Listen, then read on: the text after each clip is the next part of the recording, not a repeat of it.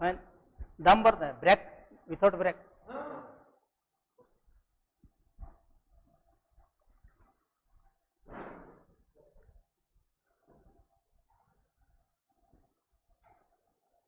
नमस्ते बच्चों हेमठ संस्थान विद्यापीठ ट्रस्ट की ओर से प्रसारित होने वाले ऑनलाइन कार्यक्रम में अप्पा जी के तरफ़ से, प्रशासन अधिकारी की तरफ़ से, प्राचार्य के तरफ़ से और मैं राजेंद्र पाटिल हिंदी शिक्षक की ओर से आप सभी का स्वागत करते हुए मैं आज के ऑनलाइन क्लास प्रारंभ कर रहा हूँ।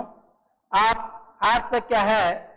घर में बैठकर मौज मस्ती की होगी, टीवी देखा होगा, खेल खेला होगा माता पिता के साथ अपना समय बिताया होगा, लेकिन अपना भविष्य का भी निर्माण करना है। इसलिए भविष्य निर्माण करने के लिए क्या है? हमें पढ़ना लिखना भी बहुत आवश्यक है। जब तक हम पढ़ नहीं लिखेंगे तो हमारा भविष्य निर्माण नहीं होगा। तो चलिए स्वामी जी ने बहुत चिंतन मंथन करके क्या है, हमारे प्राचार्य जी ने चिंतन मंथन करके क्या है, बच्चों का भविष्य घर से भी निर्माण हो सकता है ऑनलाइन क्लास के द्वारा बोल करके है, उन्होंने ऑनलाइन क्लास को महत्व देते हुए क्या है, आप सबको क्या है, पढ़ाने के लिए बताया गया है। तो चलिए, आज हम क्या है, मैं एक उदाहरण देते हुए क्या है, मैं पाठ की ओर आता हूँ, एक छोटी सी कहानी बताता हूँ। वो कहानी क्या है, आपके पाठ से संबंधित है पाठ का नाम है मातृभूमि। यह कविता है।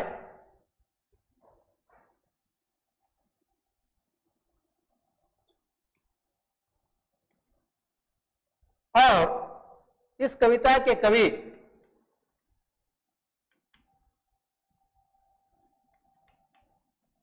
भगवती चरण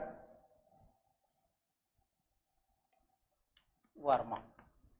तो दसवीं कक्षा के लिए राष्ट्रभाषा जो आपको पढ़ा दिया गया है, इसमें पहली कविता है मातृभूमि। ये कविता इसलिए रखी गई है कि बच्चों में देश प्रेम की भावना निर्माण हो। आज हम देखते हैं स्वार्थ प्रेम ज़्यादा बढ़ रहा है। मातृभूमि के प्रति, देश के प्रति प्रेम कम दिखाई दे रहा है। इसलिए बच्चों के मन में देश प्रेम की भावना भरने के लिए क्या है प्रप्रथम क्या है आपको मातृभूमि कविता रखी गई है। तो देश प्रेम कैसा देश प्रेम होना चाहिए? तो एक बार नेताजी सुभाष चंद्र बोस ने क्या है, जापान गए थे। जापान जाने के बाद वहाँ एक स्कूल गए थे, पाठशाला गए थे। जापान में बौद्ध धर्म चलता था। पूरे जापान देश में धर्म चलता था, बौद्ध, बुद्ध की, महात्मा बुद्ध की पूजा की जाती थी। तो पाठशाला जाने के बाद नेताजी सुभाष चंद्र बोस ने क्या है, विद्यार्थियों से पूछा, आप सबसे ज़्यादा किसे प्रेम करते हैं? किसे पूजते हैं? तब बच्चों ने कहा, हम महात्मा बुद्ध को पूजते हैं। घर में भी बच्चों को क्या महात्मा बुद्ध के बारे में ही बताया जाता था।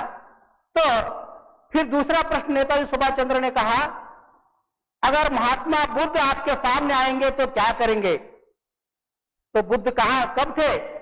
क्रिस्त पूर्वी के जमाने में थे। तो बच्चों ने कहा, हम उनको फूलों का स्वागत करेंगे, फूलों का चादर बिछाएँगे, उनको फूल मालाएँ पहनाएँगे, हम धूमधाम से उनका स्वागत करेंगे बोलकर क्या है? बच्चे बहुत खुशी से कहते हैं। तो नेताजी सुभाष चंद्र बोस ने उन बच्चों में राष्ट्र प्रेम कितना है ये परीक्षा करने के लिए बच्चों से कहा। बच्चों, बुद्ध क्या है? आपको दर्शन देने के लिए नहीं, आपको आशीर्वाद देने के लिए नहीं, बल्कि आपके देश पर आक्रमण करने के लिए आ रहे हैं। तब आप क्या करेंगे? तो बच्चों ने कहा, बुद्ध से भी बढ़कर, भगवान से भी बढ़कर, हमें हमारा राष्ट्र है, हमारी मातृभूमि है अगर ऐसे समय में वे हम आप पर आक्रमण करने के लिए आ रहे हैं तो हम उनके साथ युद्ध करेंगे, उनसे लड़ेंगे। इस प्रकार कहते हैं। इस प्रकार की देश भावना उन बच्चों में देख कर क्या है, नेताजी सुभाष चंद्र बोस क्या गदगद हो गए। तो ऐसा राष्ट्र प्रेम क्या है, आज हमारे भारतवासी के बच्चों के नस नस में नर नाड़ी में रोम रोम में होना चाहिए बोलकर क्या है, भगवती चरण वर्मा ने क्या है मातृभूमि कविता लिखी है। तो चलिए, मातृभूमि कविता का भाव समझने से पहले इस कविता के कवि भगवती चरण वर्मा का परिचय मैं आपसे कराना चाहता हूँ। कवि परिचय, भगवती चरण वर्मा। श्री भगवती चरण वर्मा का जन्म 30 अगस्त 1903 को उन्नाव ज़िले के शफीपुर गाँव में हुआ था। यानी भगवती चरण वर्मा का जन्म उत्तर प्रदेश राज्य में आता है, उन्नाव जिला। वहाँ पर एक छोटे से गाँव में 30 अगस्त, यानी उनका जन्म क्या है? 30 अगस्त उन्नीस तीन को इनका जन्म हुआ। यानी आज से 117 साल पहले की बात है। तब उनका जन्म हुआ और उन्होंने भारतवासियों के मन में मातृभूमि के प्रति प्रेम होना बोलकर क्या जगाने के लिए क्या इस कविता की रचना उन्होंने की है। तो उन्होंने इलाहाबाद से बीए एलएलबी की डिग्री प्राप्त की। इलाहाबाद विश्वविद्यालय उत्तर प्रदेश में आता है, वहाँ से बीए एलएलबी की डिग्री प्राप्त की। उन्होंने विचार और नवजीवन नामक पत्रिकाओं का संपादन भी किया था। उसके बाद पढ़ाई करने के बाद वे खाली नहीं बैठे रहे। नवजीवन और विचार। इन दो पत्रिकाओं का संपादन भी इन्होंने किया था। आकाशवाणी के कई केंद्रों में सेवा की। आकाशवाणी रेडियो केंद्र। ऐसे कई केंद्रों में क्या है, पढ़ाई खत्म करके संपा, पत्रिका का संपादन करते क्या है, कई केंद्रों में इन्होंने काम किया। इनकी सबसे श्रेष्ठ रचना है चित्रलेखा। चित्रलेखा उपन्यास के लिए दो बार फ़िल्म निर्माण हुआ है चित्रलेखा उपन्यास पर। दो बार फ़िल्म निर्माण हुआ है। दूसरा उपन्यास है उनका भूले बिसरे चित्र। इसे साहित्य अकादमी से पुरस्कृत किया गया यानी इसे साहित्य अकादमी पुरस्कार भी मिला है। इसके अलावा इनके और कुछ रचना इस प्रकार है। अपने खिलौने, पतन, तीन वर्ष, टेढ़े मेढ़े रास्ते, युवा चूंडा, ये उनके उपन्यास है। तो कहानी संग्रह देखिए मेरी कहानियाँ मोर्चाबंदी तथा संपूर्ण कहानियाँ इनकी कहानी संग्रह है।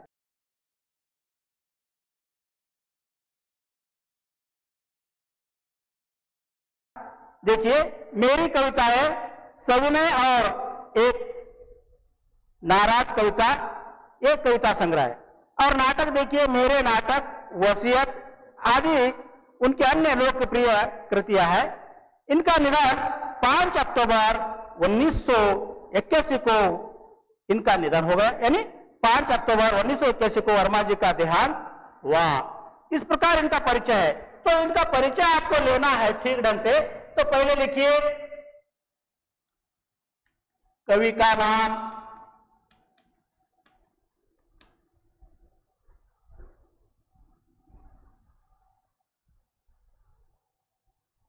उसके बाद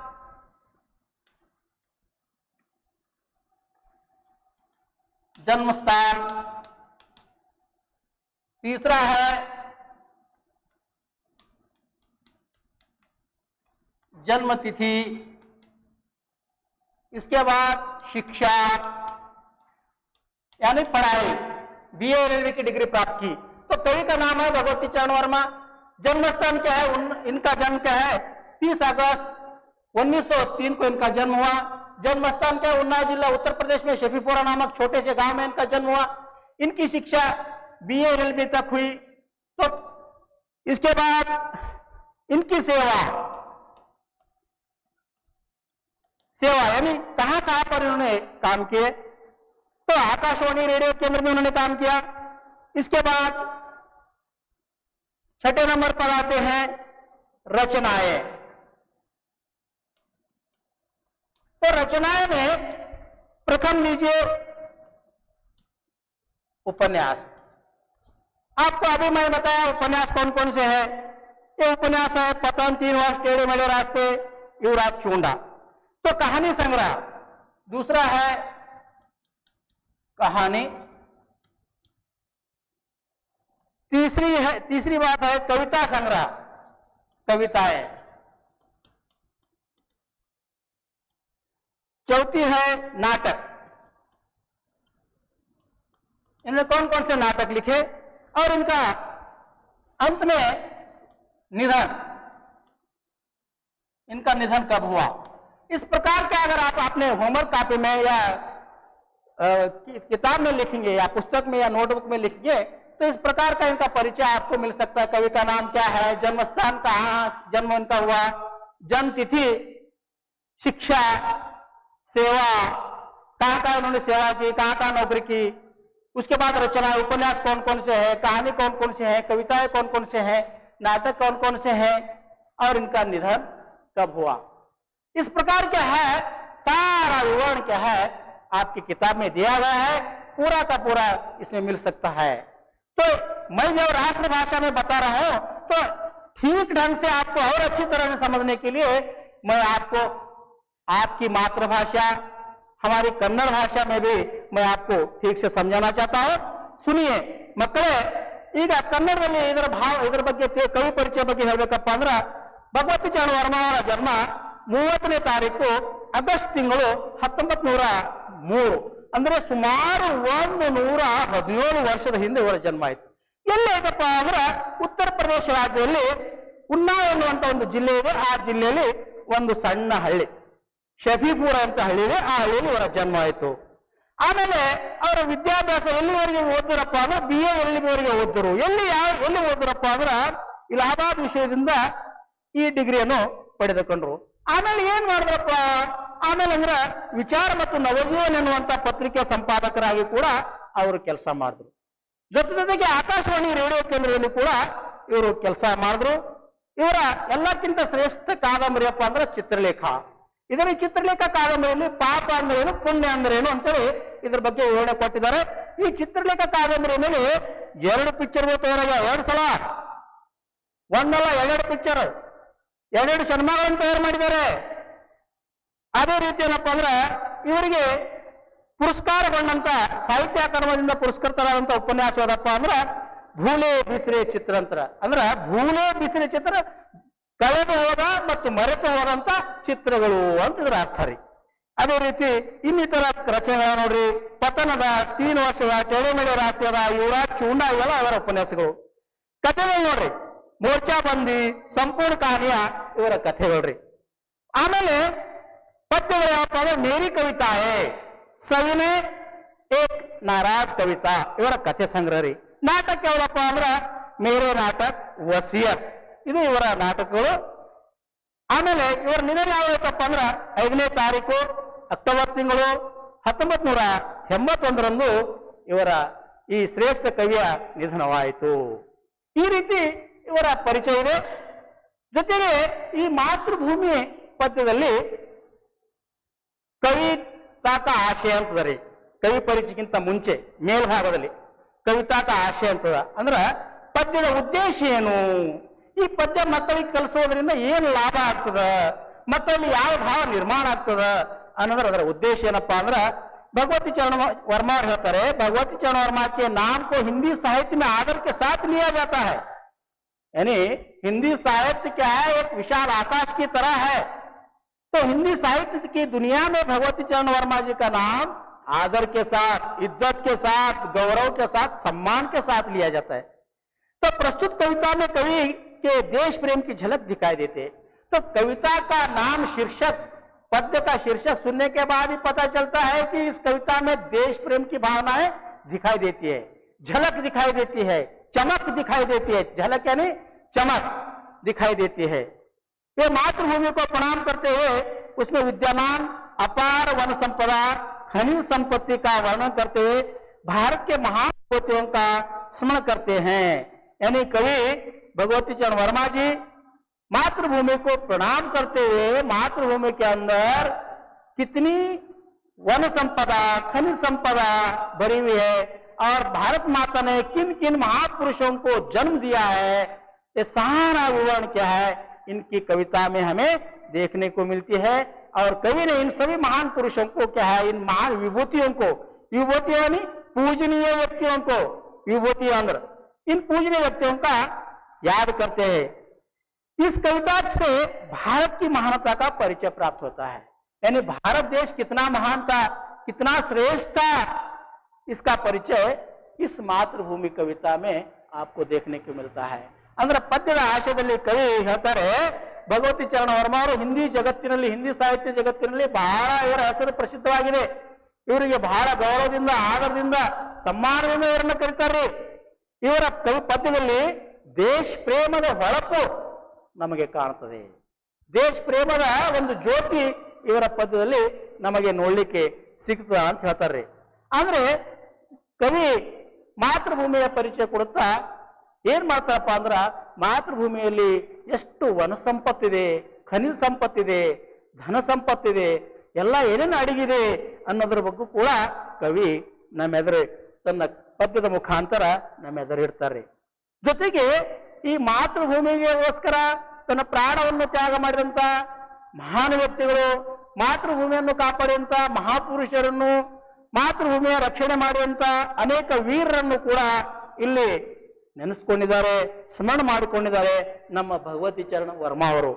ಈ ರೀತಿ ಒಟ್ಟಿನಲ್ಲಿ ಹೇಳ್ಬೇಕಪ್ಪ ಅಂದ್ರ ನಮ್ಮ ಭಾರತ ಭೂಮಿ ಎಷ್ಟು ಮಹಾನಿದೆ ಅನ್ನೋದ್ರ ಬಗ್ಗೆ ಇಲ್ಲಿ ಈ ಪರಿಚಯವನ್ನು ಈ ಪದ್ಯದಲ್ಲಿ ನಮಗೆ ನೋಡ್ಲಿಕ್ಕೆ ಸಿಗ್ತದೆ ಈಗ ನಾವು ಸ್ವಲ್ಪ ಪದ್ಯದ ಕಡೆ ಮೇಲೆ ಬೆಳಕು ಚೆಲ್ಲೋಣ ಪದ್ಯದ ಮೇಲ್ಭಾಗದಲ್ಲಿ ಅಂದ್ರ ಮಾತೃಭೂಮಿ ಏನ್ ಶೀರ್ಷಿಕೆ ಅದಲ್ಲ ಅದರ ಕೆಳಗೆ ಒಂದು ಸ್ವಲ್ಪ ಕೊಟ್ಟಿದ್ದಾರೆ ನೋಡಿ ಏನ್ ಕೊಟ್ಟಿದ್ದಾರೆ ಅಂದ್ರ इस कविता के द्वारा कवि मातृभूमि की विशेषता का परिचय देते हुए छात्रों के मन में देश प्रेम का भाव जगाना चाहते हैं तो कवि इस कविता के द्वारा बच्चों के मन में, मातृभूमि कविता के द्वारा बच्चों के मन में देश प्रेम की भावना जगाने की, भरने की भरसक परिश्रम किया है। अर्थात इस कविता के द्वारा बच्चे क्या सीखते हैं बोले तो छात्र क्या सीखते हैं बोले तो देश प्रेम के प्रति प्रेम भावना होना चाहिए, मातृभूमि के प्रति प्रति आदर का भाव होना चाहिए। यह इस कविता के द्वारा बताया गया तो चलिए मैं थोड़ा कविता की चंद पंक्तियों को मैं आपके सामने रखना चाहता हूँ। मातृभू शत शत बार प्रणाम। सामने विस्मय अधिबोधक चिन्ह इस प्रकार। पूर्ण विराम चिन्ह नहीं विस्मय आदि मातृभू शत शत बार प्रणाम। देखिए, कवि मातृभूमि को सौ सौ बार प्रणाम कर रहे हैं। ऐसा क्यों? जन्म देने वाली माँ नौ महीने अपने पेट में रखती हैं। हम जन्म लेकर धरती पर आने के बाद, जन्म से लेकर मरण तक ये मातृभूमि हमें हवा, पानी, खाना, सब कुछ दे करके हमारा लालन पालन करती है, हमारी रक्षा करती है। इसलिए मातृभूमि क्या है? माँ के से भी श्रेष्ठ है। माँ के तरह सम्मान है बोलकर क्या है? कवि क्या है? माँ के साथ साथ मातृभूमि को भी शत शत बार प्रणाम करते हैं हम केवल हमारे माँ को प्रणाम करते हैं लेकिन माँ मातृभूमि से अलग नहीं है मातृभूमि माँ से अलग नहीं है दोनों एक सिक्के के दो पहलू है ಅಂದ್ರೆ ಮಾತೃಭೂಮಿಗೆ ಕವಿ ನೂರು ನೂರು ಪ್ರಣಾಮಗಳು ಸಲ್ಲಿಸ್ತಾರೆ ಮಾತೃಭೂಮಿ ಮತ್ತು ತಾಯಿ ಬೇರೆ ಅಲ್ಲ ಒಂದು ನಾಣ್ಯದ ಎರಡು ಮುಖಗಳಿದ್ದಂತೆ ತಾಯಿ ನಮಗೆ ಜನ್ಮ ಕೊಡ್ತಾಳೆ ಜನ್ಮ ಪಡೆದ ನಂತರ ನಾವು ಇಡೀ ಜೀವನ ಈ ಮಾತೃಭೂಮಿಯ ಮಡಿಲಲ್ಲಿ ನಾವು ಕಳಿತೇವೆ ಅಲ್ಲಿ ಆಹಾರ ಗಾಳಿ ಬೆಳಕು ಎಲ್ಲ ಕೊಡೋರು ಯಾರಪ್ಪ ಅಂದ್ರೆ ಈ ಮಾತೃಭೂಮಿ ನೋಡ್ರಿ ಇಷ್ಟ ಇಷ್ಟು ಈ ಒಂದೇ ಸಾಲಿನಲ್ಲಿ ಇಷ್ಟು ದೊಡ್ಡ ಅರ್ಥವನ್ನು ಅಡಗಿದಿರಿ ಒಂದು ಸಂಸ್ಕೃತದಲ್ಲಿ ಒಂದು ಶ್ಲೋಕ ಶ್ಲೋಕ ಇದೆ ಒಂದು ವಾಕ್ಯ ಇದೆ संस्कृत में एक श्लोक है एक वाक्य है जननी जन्मभूमि च स्वर्गादपि गरीयसे इस संदर्भ में मैं ये कहना चाहता हूं जननी जन्मभूमि च स्वर्गादपि गरीयसे जननी यानी जन्म देने वाली माँ, है ना? और जन्मभूमि च जिस भूमि में हम जन्म लेते हैं, जिस धरती पर जन्म लेते हैं, ये दोनों स्वर्ग से भी श्रेष्ठ है, स्वर्ग से भी महान है। जननी और जन्मभूमि इच्छा बोलकर क्या है, संस्कृत में बताया गया है। इसलिए हम मातृभूमि को सौ सौ बार प्रणाम करते हैं। कभी आगे कहते हैं, देखिए अमरों की जननी। तुमको शत शत बार प्रणाम। अमरों की जननी, तुमको शत शत बार प्रणाम। अमरों की जननी, महापुरुषों को जन्म देने वाली माँ। तो कैसे कैसे महापुरुषों को जन्म दिया मालूम है? आदि अनादि काल से। सत्य हरिश्चंद्र राजा को जन्म तूने दिया। रामायण में महा लक्ष्मण, राम आदि को जन्म तूने दिया। जब महाभारत में आते हैं तो श्री कृष्ण अर्जुन, भीम, ऐसे महापुरुषों को जन्म तूने दिया। जब हम कलयुग में आते हैं, बसवन्ना, शिवाजी, अंबेडकर, महात्मा बुद्ध, ऐसे महापुरुषों को तूने जन्म दिया है माँ। इसलिए, हे माँ, तुझे शत शत बार प्रणाम। इस प्रकार क्या कवि क्या है, अपने पंक्तियों में कहते हैं। मातृभू शत शत बार प्रणाम। तेरे उर में उर यानी हृदय में, तेरे हृदय में शायद गांधी, बुद्ध और राम। तेरे हृदय में कौन कौन विश्राम करे मालूम है? गांधी, बुद्ध और राम जैसे महान व्यक्ति।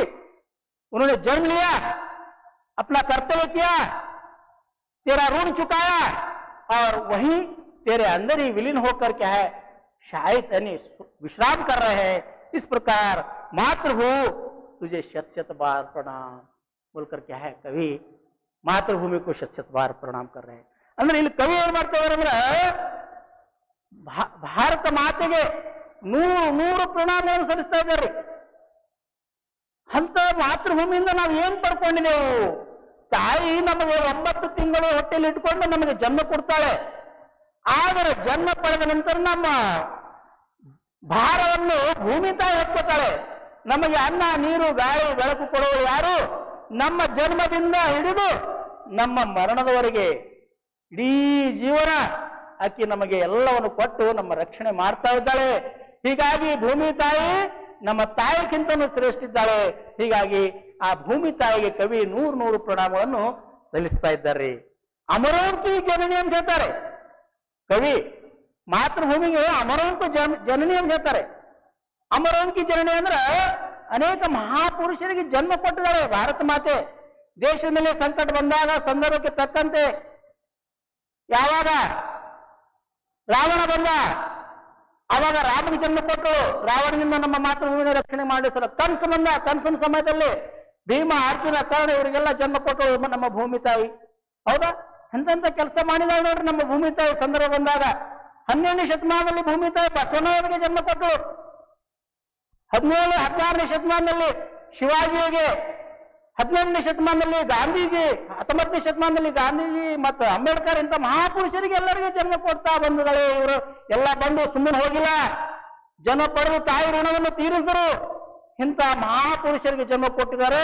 ಇವತ್ತು ಅವ್ರನ್ನೆಲ್ಲ ಯಾಕೆ ನೆನೆಸ್ಕೊಡ್ತೇವಪ್ಪ ಅಂದ್ರ ಅದಕ್ಕೆಲ್ಲ ಕಾರಣ ನಮ್ಮ ಮಾತೃಭೂಮಿ ಕಾರಣ. ಬೇರೆ ಯಾರೂ ಅಲ್ಲ. ಬೇರೆ ರಾಷ್ಟ್ರದಲ್ಲಿ ದೇಶದ ಹೆಸರು ತಗೋತಾರೆ. ಅಮೆರಿಕ, ಜಪಾನ್, ಚೈನಾ ಅಂತಾರೆ. ಭಾರತ ಭಾರತಕ್ಕ ಭಾರತ ಮಾತೆ ಅಂತ ಕರೀತಾರೆ. ಅಂದ್ರ ಭಾರತ ದೇಶವನ್ನು ತಾಯಿಗೆ ಹೋಲಿಸಿದ್ದಾರೆ ಹೀಗಾಗಿ ಇಷ್ಟು ಉದಾರವಾದಂತ ತಾಯಿ ಗುಣ ಈ ಮಾತೃಭೂಮಿಯಲ್ಲಿ ಇದೆ. ತನಗೋಸ್ಕರ ಏನು ಇಟ್ಕೊಳ್ಳಂಗಿಲ್ಲ. ಎಲ್ಲವನ್ನು ತ್ಯಾಗ ಮಾಡಿದಾಳೆ ಅಂತೇಳಿ ಅದಕ್ಕೋಸ್ಕರ ಕವಿ ಮಾತೃಭೂಮಿಗೆ ನೂರು ನೂರು ಪ್ರಣಾಮಗಳನ್ನು ಇದ್ದಾರೆ. ತೇರೆ ಉರ್ಮೇಶ್ ಆಯ್ತು ಗಾಂಧಿ ಬುದ್ಧ ರಾಮ್ ಅಂತ ಕವಿ ಹೇಳ್ತಾರೆ. ಅಂದ್ರೆ ನಿನ್ನ ಹೃದಯದಲ್ಲಿ ಗಾಂಧಿ ವಾಸ ಮಾಡ್ತಾ ಇದ್ದಾರೆ, ಬುದ್ಧ ವಾಸ ಮಾಡ್ತಾ ಇದ್ದಾರೆ, ರಾಮ ವಾಸ ಮಾಡ್ತಾ ಇದ್ದಾನೆ, ಬಸವಣ್ಣ ವಾಸ ಮಾಡ್ತಾ ಇದ್ದಾನೆ ಅಕ್ಕ ಮಾದೇವಿ ವಾಸ ಮಾಡ್ತಾ ಇದ್ದಾಳೆ. ಎಲ್ಲರೂ ವಾಸ ಮಾಡ್ತಾ ಇದ್ದಾರೆ ತಾಯಿ, ಭೂಮಿ ತಾಯಿ. ನೀ ಇಂಥವ್ರಿಗೆಲ್ಲ ಜನ್ಮ ಕೊಟ್ಟು ನಿನ್ನ ಜನ್ಮ ಸಾರ್ಥಕ ಆಗ್ಯದ ತಾಯಿ. ಇವರು ಕೂಡ ತನ್ನ ಜನ್ಮವನ್ನು ಸಾರ್ಥಕ ಮಾಡ್ಕೊಂಡಾಳೆ, ನಿನ್ನ ಋಣವನ್ನು ತೀರಿಸಿ.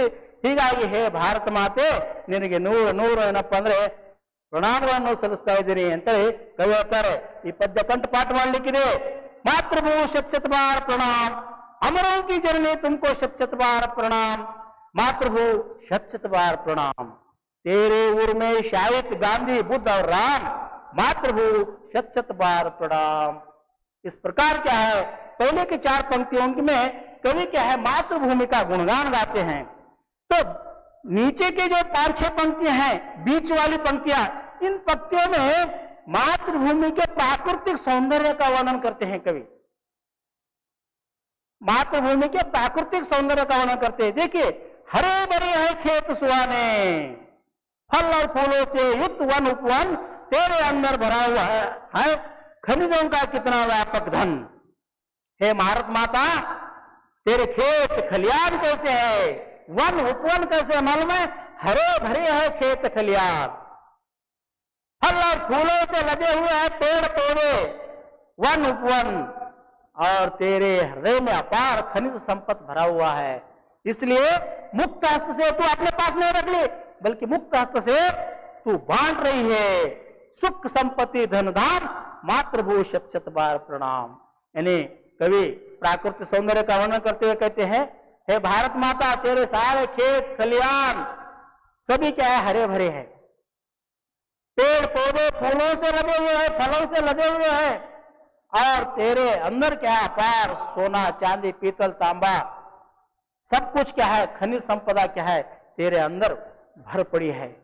लेकिन ये सारा तू अपने लिए नहीं, बल्कि जिसे तूने जन्म दिया है, जिन भारतवासियों को जन्म दिया है उन सारे भारतवासियों के लिए उनके सुख के लिए उनकी खुशी के लिए सब कुछ क्या है तू मुक्त हस्त से बांट रही है इसलिए तेरा हृदय बहुत विशाल है महान तू बहुत महान है मां इसलिए तुझे शत शत बार प्रणाम बोलकर क्या है ये बीच वाली पंक्तियों में भारत माता के प्राकृतिक सौंदर्य का वर्णन करते हुए कवि कहते हैं ಅಂದ್ರ ಕವಿ ಮಧ್ಯದ ಸಾಲುಗಳಲ್ಲಿ ಅಂದ್ರೆ ಏನು ಆರು ಸಾಲುಗಳಲ್ರಿ ಆ ಸಾಲಿನಲ್ಲಿ ಕವಿ ಏನ್ ಮಾಡ್ಯಾರಪ್ಪ ಅಂದ್ರ ಭಾರತ ಮಾತೆಯ ಪ್ರಾಕೃತಿಕ ಸೌಂದರ್ಯದ ಬಗ್ಗೆ ಕೊಂಡಾಡಿದ್ದಾರೆ, ಹೊಗಳಿದ್ದಾರೆ, ವರ್ಣನೆ ಮಾಡಿದ್ದಾರೆ. ಭಾರತ ಮಾತೆಯ ಹೊಲಗದ್ದೆಗಳು ಹೇಗಪ್ಪ ಅಂದ್ರ ಹಚ್ಚ ಹಸಿರಾಗಿ. ಭಾರತ ಮಾತೆಯ ಹೊಲಗದ್ದೆಗಳು ಹೆಂಗೆ ಹಚ್ಚ ಹಸಿರಾಗಿ. ಅಂದ್ರ ಫಲವತ್ತಾದ ಭೂಮಿ ಅದ ನಮ್ಮ ಭಾರತ ಮಾತೆ ಬಂಜರ್ ಭೂಮಿ ಇಲ್ಲ. ಫಲವತ್ತಾದ ಭೂಮಿ ಅದ. ಭಾರತ ಮಾತೆಯ ಭೂಮಿ ಬಹಳ ಫಲವತ್ತಾದ. ಆದಂತ ಇದೆ ಆಮೇಲೆ ಇಲ್ಲಿನ ಗಿಡ ಮರಗಳು ಆಮೇಲೆ ಅರಣ್ಯಗಳು, ಯಾ ಹೆಂಗಿವಪ್ಪ ಅಂದ್ರ ಹೂಗಳಿಂದ, ಹಣ್ಣುಗಳಿಂದ ಬಾಗಿ ಹೋಗಿವೆ. ಬಾಗಿ ಹೋಗಿ ಅಷ್ಟು ಇಲ್ಲಿ ಹೂಗಳು ಕೊಡುವಂತ ಗಿಡಗಳಿವೆ, ಹಣ್ಣುಗಳನ್ನು ಕೊಡುವಂತ ಮರಗಳಿವೆ. ಹಿಂಗೆಲ್ಲ ಅನೇಕ ವನ ವನೌಷಧಿಗಳು ಏನಪ್ಪ ಅಂದ್ರೆ ನಮ್ಮ ಭಾರತ ಮಾತೆಯ ಭೂಮಿಯಲ್ಲಿ ಸಿಗ್ತದ ಇವತ್ತೇನಪ್ಪ ಅಂದ್ರೆ ವನೌಷಧಿ ಉಪಯೋಗ ಮಾಡಿಕೊಂಡು ಎಷ್ಟೋ ಆ, ರೋಗಗಳನ್ನು ನಾವು ದೂರ ಮಾಡಿಕೊಂಡು ನಾವು ಆರೋಗ್ಯವನ್ನು ಕೂಡ ಕಾಪಾಡ್ಕೊಳ್ತಾ ಇದ್ದೇವೆ ಹೀಗಾಗಿ ಕವಿ ಏನಪ್ಪಾ ಅಂದ್ರೆ ಭಾರತ ಮಾತೆಯ ಪ್ರಾಕೃತಿಕ ಸೌಂದರ್ಯನ ಹೊಗಳ್ತಾ ಇರ್ತಾನೆ. ಮುಕ್ತ ಹಸ್ತ ಸೇ ತೂ ಬಾಂಡ್ रही है ಇದೆಲ್ಲ ನಿನಗೋಸ್ಕರ ಇಟ್ಕೊಂಡಿಲ್ಲ तू अपने लिए कुछ भी नहीं रख ली बल्कि ये सारा अपने बच्चों के लिए अपने संतान के लिए अपने परिवार के लिए बांट दे रही है। तू तेरे हृदय में उगा हुआ फल अपने लिए नहीं रहे, बल्कि वो सारा फल दूसरों के दिया है। जिसे खाकर क्या है, सारे जीव जंतु अपना पेट भर ले रहे हैं। खनिज संपदा भरी है, जिसका उपयोग आज हम कर रहे हैं। ये सब क्या है? तू मुक्त हस्त से बांट रही है। अपने लिए कुछ नहीं रख ली।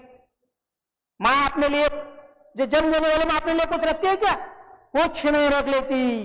जन्म देने वाले माता हृदय जितना विशाल होता है, ये मातृभूमि का हृदय भी उतना ही विशाल है। क्योंकि माँ दिन भर मेहनत करती है, काम करती है, घर में मज़ेदार, स्वादिष्ट खाना बनाती है।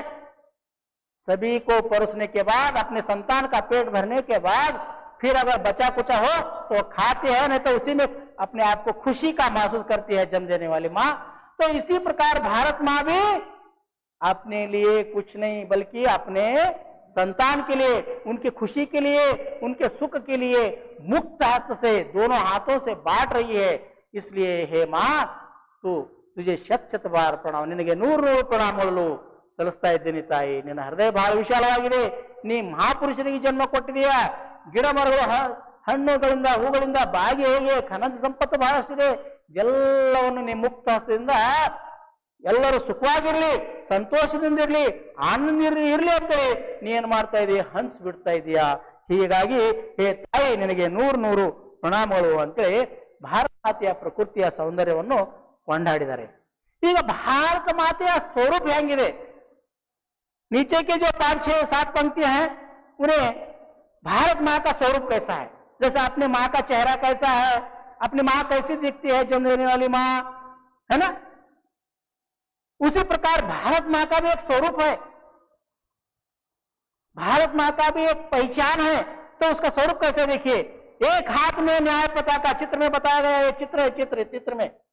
आपके, शायद आपके पास किताब हो तो किताब खोलिए, देखिए। इसमें क्या है? भारत माँ के एक हाथ में क्या है? न्याय पताका यानी न्याय का ध्वज है। किसी को अन्याय नहीं होने किसी पर भेदभाव नहीं करती। माँ के न्याय के ध्वज के सामने सभी समान है। और दूसरे हाथ में ज्ञान दीप, माँ के दूसरे हाथ में ज्ञान का दीप है। अज्ञान को भगाने के लिए माँ ने ज्ञान का दीप देकर सारे दुनिया के के सभी मानव जाति में क्या ज्ञान भरने का काम कर रही है हमारी भारत माता। जय का रूप बदल दे हे माँ। कवि कहते हैं माँ के एक हाथ में न्याय पताका है, दूसरे हाथ में ज्ञान का दीप है। और कवि क्या कर रहे हैं? न्याय पताके के, पताके से और ज्ञान के दीप से क्या कर? तू जग का रूप बदल दे, संसार का रूप बदल दे, प्रपंच का रूप बदल दे। क्योंकि संसार में, दुनिया में बहुत अन्याय हो रहा है। अत्याचार हो रहा है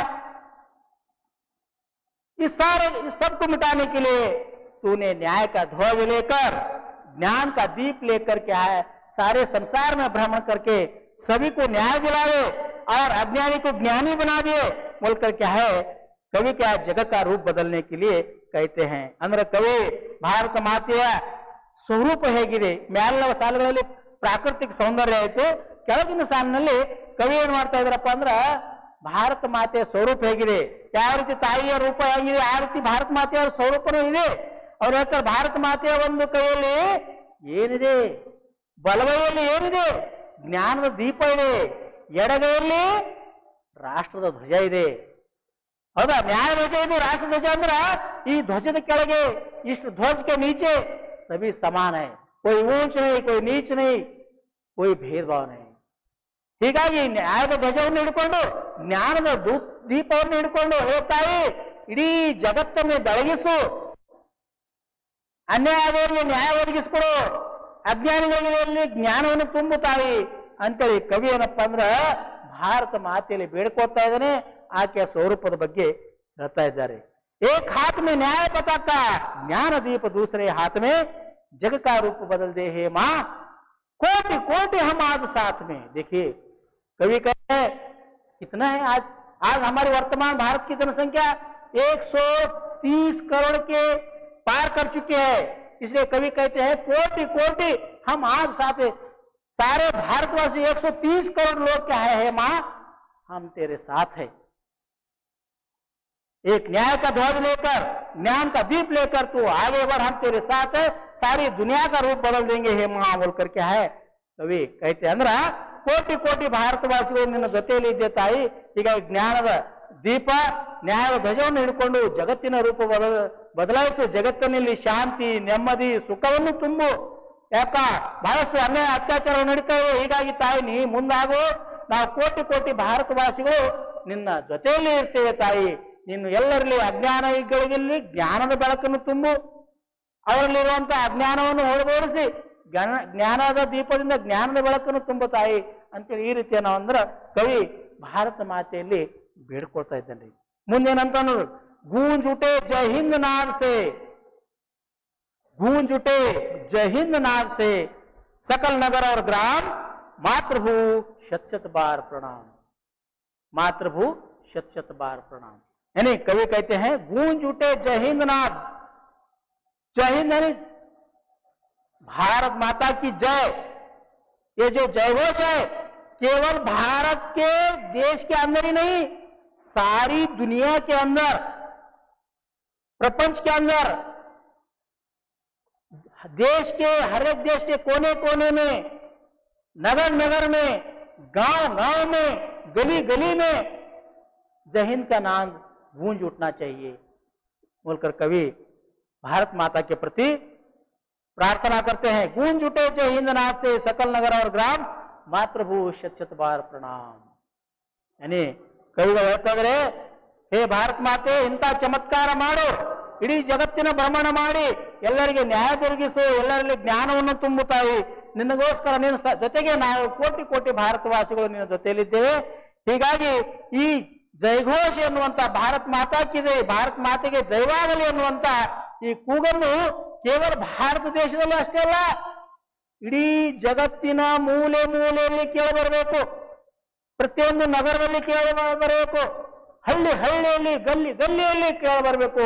ಅಂತ ಒಂದು ಕೆಲಸ ನೀವು ಮಾಡ್ತಾಯಿ ಅಂತ ಕವಿ ಭಾರತ ಮಾತೆಯಲ್ಲಿ ಒಂದು ಪ್ರಾರ್ಥನೆ ಮಾಡಿಕೊಡ್ತಾ ಇದ್ದಾರೆ. ಭಾರತ ಮಾತೆಗೆ ಬೇಡ್ಕೊತಾ ಇದ್ದಾರೆ ನಮ್ಮ ಕವಿ ಭಗವತಿ ಚರಣ ಈ ರೀತಿ ಏನಪ್ಪ ಅಂದ್ರ ಭಾರತ ಮಾತೆ ಬಹಳ विशाल हृदय के हृदय? उसका हृदय भारत माँ का हृदय बहुत विशाल है। वो बहुत महान है। कभी भारत देश किसी राष्ट्र पर आक्रमण किया है क्या?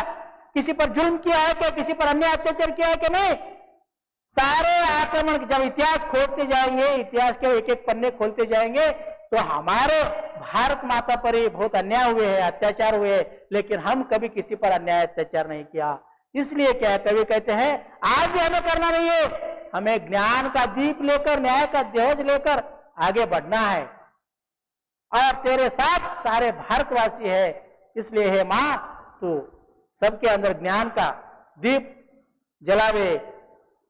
राष्ट्रध्वज के नीचे आने वाले सभी मानव जाति को न्याय दिलावे, बोलकर के है, भारत माता के प्रति प्रणाम कर रहे हैं। और ये भारत माता की जय का जो नाम है नाम ಹುಂಕಾರ, ಕೂಗು, ಜಳಘೋಷ, ಇದು ಏನು ಅಲ್ಲಪ್ಪ ಅಂದ್ರ ಜಗತ್ತಿನ ಮೂಲೆ ಮೂಲೆಯಲ್ಲಿ ಕೇಳಿ ಬರಬೇಕು. ಅಂತ ಒಂದು ಮಹಾನ ಕಾರ್ಯವನ್ನು ಮಾಡುತ್ತಾಯಿ ಅಂತೇಳಿ ಕವಿ ಭಾರತ ಮಾತೆಯಲ್ಲಿ ಬೇಡ್ಕೋತಾ ಇದ್ದಾರೆ.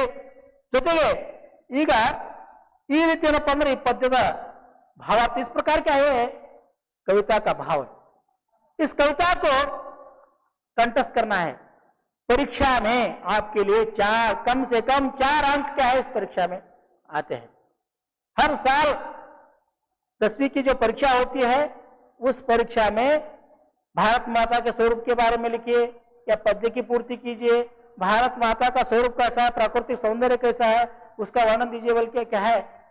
दो से चार अंक का, प्रश्न क्या हर साल आया है? इसलिए बच्चे आप सभी क्या है इस पद्य को कंटस्थ कीजिए इस पद्य का भाव समझिए और क्या है कंटस्थ कीजिए। जैसा कि मातृभू शत बार प्रणाम। अमरों की जननी, मैं एक बार फिर दोहरा रहा हूँ। मातृभू शत बार प्रणाम। अमरों की जननी, तुमको शत बार प्रणाम। मातृभू शत बार प्रणाम। तेरे उर में गांधी, बुद्ध और राम। मातृभू शत बार प्रणाम। हरे भरे है खेत सुहाने। सुहाने सुंदर है। फल और फूलों से युक्त वन उपवन।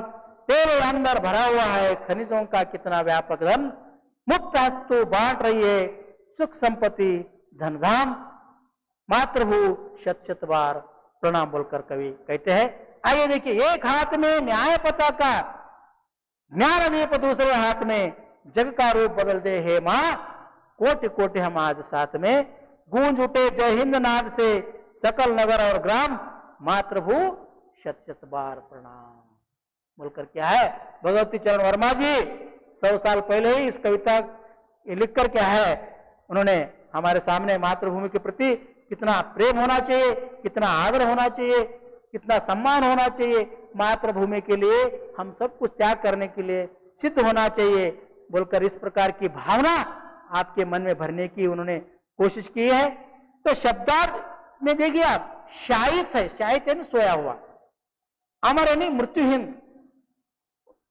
मृत्युहीन, जो कभी नहीं मरता, उसे अमर कहते हैं। हस्त यानी हाथ सुहाने यानी सुंदर, धाम यानी घर, आगार, भंडार, गूंज यानी प्रतिध्वनित होना। इस प्रकार के कठिन शब्द क्या है? वह किताब में, शब्दार्थ में दिया गया है। देखिए, और शब्द युग्म शब्द युग्म यानी कन्नड़ में उसे कहते जोड़ी पदा बोलकर। हिंदी में उसे शब्द युग्म कहते हैं। जिसे कन्नड़ में जोड़ी पदा बोलकर कहते हैं। ये जो हरे भरे, हरे और भरे, ये शब्द युग्म है, जिसे जोड़ी पदा बोलते हैं। फल और फूल, वन और उपवन, सुख और संपत्ति, धन धाम बीच में जो चिन्ह लगा हुआ है, इसे योजक चिन्ह कहते हैं। यानी दो शब्दों को जोड़कर चलने वाला चिन्ह। ये क्या है? जोड़ी पद, शब्द शब्द शब्द युग्म कहते हैं।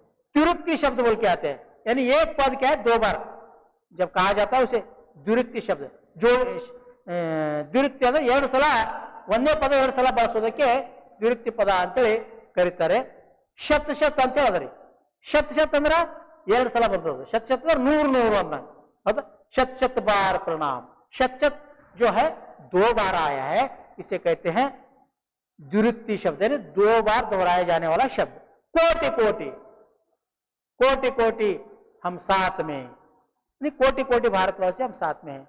इस प्रकार क्या है, बताया गया है। तो ये देख लीजिए, इसे कहते हैं द्विरुक्ति शब्द या पद। तो चलिए, अभ्यास भाग में इस पद के जो अभ्यास भाग है, अभ्यास भाग में एक वाक्य में उत्तर लिखिए। एक वाक्य में उत्तर लिखिए है। तो एक वाक्य में उत्तर लिखिए। यानी एक अंक के प्रश्न ही है। एक ही वाक्य में उत्तर लिखना है इसे, अभ्यास में। पहला प्रश्न क्या है? देखिए, कवि किसे प्रणाम कर रहे हैं? कवि मातृभूमि से प्रणाम कर रहे हैं। अगर क्यों कर रहे हैं बोलने के बाद? क्योंकि वह अमरों की जननी है है ना? महापुरुषों को जन्म दिया है। मुक्त हस्त से क्या धनधाम बांट रही है है ना? इसलिए कवि मातृभूमि को प्रणाम कर रहे हैं। भारत हा- माता के हाथों में क्या है? भारत माता के एक हाथ में न्याय का ध्वज है और दूसरे हाथ में ज्ञान का दीप है। इस प्रकार क्या है? पूरा वाक्य लिखना चाहिए। भारत माँ के एक, के हाथों में क्या है? भारत माँ के एक हाथ में न्याय पता का है, दूसरे हाथ में ज्ञान दीप है। केवल शब्द लिखने से अंक नहीं मिलते। रिक्त स्थान में लिख सकते हैं। लेकिन प्रश्न अगर एक वाक्य में है तो उत्तर भी एक वाक्य में लिखना चाहिए। कवि किसे प्रणाम कर रहे हैं कवि मातृभूमि को प्रणाम कर रहे हैं। इस प्रकार लिखना चाहिए। आज माँ के साथ कौन है? आज माँ के साथ कोटि कोटि भारतवासी है। कौन है? कोटि कोटि भारतवासी नहीं करोड़ों भारतवासी माँ के साथ है। सभी और क्या गूंजना चाहिए? क्या गूंजना चाहिए? यानी जय हिंद का नाद। जय हिंद का नाद इतना लिखने से काम नहीं चलता। सभी और जय हिंद का नाद गूंजना चाहिए। इस प्रकार आपको लिखना है। तो पांचवा प्रश्न है, भारत माँ के खेत कैसे है? भारत माता के खेत कैसे है?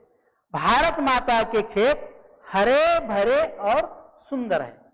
भारत माँ के खेत कैसे हरे भरे और सुंदर है। ಅಂದ್ರೆ ಭಾರತ ಮಾತೆಯ ಹೊಲಗದ್ದೆಗಳು ಹೇಗಿವೆ ಅಂತ ಪ್ರಶ್ನೆ ಅದ ಅಂದ್ರೆ ಹಚ್ಚ ಹಸಿರಾಗಿವೆ ಸುಂದರವಾಗಿವೆ ಭಾರತ ಮಾತೆಯ ಹೊಲಗದ್ದೆಗಳು ಹಚ್ಚ ಹಸಿರಾಗಿವೆ ಮತ್ತು ಸುಂದರವಾಗಿವೆ ಅಂತ ಪೂರ್ಣವಾಗಿ ಒಂದು ವಾಕ್ಯದಲ್ಲಿ ಬರೆದಾಗೆ ಮಾತಾಡಕ್ಕೆ ಒಂದು ಅಂಕ ಸಿಗ್ತದೆ ಇಲ್ಲ ಅಂದ್ರೆ ಸುಮ್ಮನೆ ಒಂದು ಶಬ್ದ ಬರೆದ ತಕ್ಷಣ ಅದು ಅರ್ಧ ಉತ್ತರ ಆಗ್ಬಿಡ್ತದೆ ಮಕ್ಕಳೇ ಹೀಗಾಗಿ ನೀವು ಪೂರ್ಣ ಉತ್ತರ ಬರೀಬೇಕ್ರಿ छठा प्रश्न है भारत भूमि के अंदर क्या क्या भरा हुआ है भारत भूमि के अंदर क्या क्या भरा हुआ है ಅಂದ್ರೆ ಮಾ ಭಾರತ ಮಾತೆಯ ಹೃದಯದಲ್ಲಿ ಮಾತೃಭೂಮಿಯಲ್ಲಿ ಏನೇನು ತುಂಬಿದೆ ಅಂತ ಪ್ರಶ್ನೆ तो भारत माता के अंदर क्या है अपार खनिज संपदा और धन धाम भरा हुआ है इस प्रकार लिखना चाहिए च- सातवां प्रश्न है सुख संपत्ति धन धाम को मां कैसे बांट रही है सुख और संपत्ति मां के पास जो सुख है जो संपत्ति है जो धन है, जो ऐश्वर्य है, कैसे बांट रही है? जब आपके हमारे जन्म देने वाले माँ के पास कुछ अगर है तो कैसे बांटती है? सभी बच्चों को समान रूप से बांटते हैं। कोई खाने की चीज़ है तो घर में दो तीन बच्चे सभी को थोड़ा थोड़ा देकर खुश हो जाते हैं। इसलिए सुख संपत्ति माँ धनधाम को मुक्त हस्त से बांट रही है। इस प्रकार लिखना चाहिए।